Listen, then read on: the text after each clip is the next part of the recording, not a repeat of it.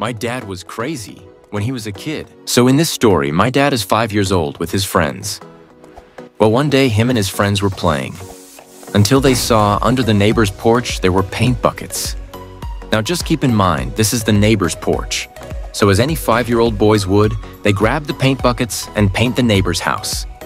Yes, they got in trouble, but like this video if you agree that you would have done this when you were a kid.